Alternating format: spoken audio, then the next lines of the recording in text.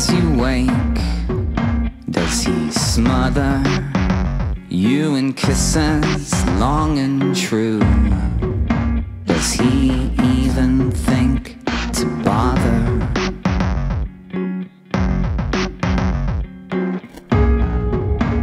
And at night, under covers, as he's sliding into you